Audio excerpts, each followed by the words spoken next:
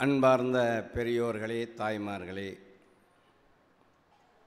உங்களுக்கு எல்லாரும் வணக்கத்தை தெரியப்படுத்திக் கொண்டு கலியுகத்து அவதாரக் கடவுள் மூணநிலை கண்ட உலக பேராசான் ராஜ ரிஷி பிரம்ம ரிஷி பசிப்பினி மருத்துவர் பரமானந்த சதாசிவ சத்குரு ஆறுமுக அரங்கத மகா தேசிக சுவாமிகள் கடந்த நாற்பத்தி நான்கு ஆண்டுகளாக கடும் தவம் புரிந்து பல கோடி மக்களுக்கு பசியாற்றி வைத்தும் பல்லாயிரக்கணக்கான ஏழை எளிய மக்களுக்கு திருமணம் செய்து வைத்தும் பல ஆயிரக்கணக்கான மக்களுக்கு ஒளி பொருந்திய பார்வை கொடுத்தும்.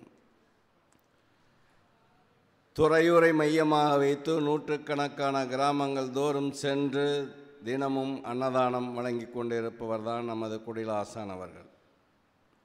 ஆசானுடைய பெருமைகளையும் சிறப்புகளையும் பேச வேண்டுமென்றால் நூற்றி முப்பத்தி ஒரு மகான்கள் அறுபத்தி மூன்று நாயன்மார்கள் பன்னிரெண்டு ஆழ்வார்கள் பஞ்சபாண்டவர்கள் ரிஷி பத்தினிகள் அத்தனை பேரும் கூறிய கருத்துக்களை சொல்ல வேண்டுமென்றால் நாட்கள் போதாது வருடங்கள் போதாது யுகங்கள் போதாது. ஆனால் நம்முடைய அனுபவத்தை தான் இங்கே பேச வேண்டும். ஆசான் அவர்கள் அன்னதானம் செய்யக்கூடிய காட்சியை காணுகின்ற பொழுது நெகிழாத மனம் கூட நெகிழும். காரணம் தேடி வருபவர்களுக்கு சோறு போடுகின்ற யோசனை பண்ணுற இந்த கலிகாலத்திலே தேடி போய் தினமும் மூவாயிரம் நாலாயிரம் மக்களுக்கு சோறு போடுகின்றார்கள் இப்பொழுது. ஆனால் கடந்த காலங்களிலே தினந்தோறும் ஐம்பது டன் அரிசி. கிட்டத்தட்ட தினந்தோறும் முப்பது நாற்பதனாயிரம் பேர்த்துக்கு அன்னதானம் வழங்கியவர் தான் நமது ஓங்கார குடிலாசான் அவர்கள். ஆனால் ஆசானை பொழுது நாம் தரிசனம் காணுகின்ற போது தவத்தினுடைய முதிர்ச்சியின் காரணமாக அவர்கள் படுத்திருக்கின்றார்கள். ஆனால் நமக்கு மதியம் மூன்று மணி அளவுக்கு தான் பார்க்க வேண்டும் என்று நோட்டீஸ் போர்டில் போட்டிரு போட்டிருக்காங்க. இருந்த போதிலும் தொண்டர்கள் மனம் சோர்வடையக்கூடாது என்பதற்காகவே நமக்கு ஆசி வழங்கி கொண்டிருக்கின்றார்கள்.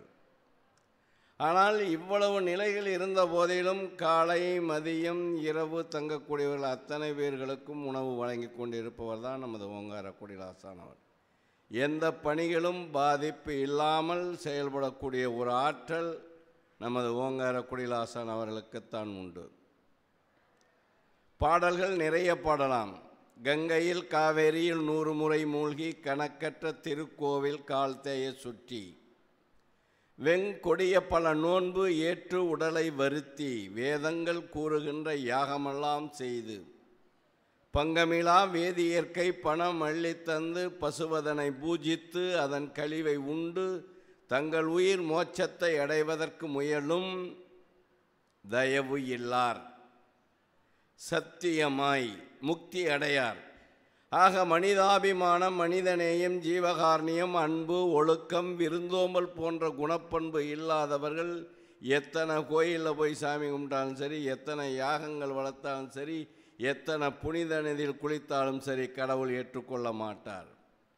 பெற்ற தாய் தந்தைக்கு சோறு போடாதவனும் கட்டிய மனைவி கிட்ட அன்பு காட்டாதவனும் வீட்டுக்கு வந்த விருந்தினரை உபசரிக்கக்கூடிய மனம் இல்லாதவன் எந்த கோயிலில் சாமி கும்பிட்டு எதுக்காவது?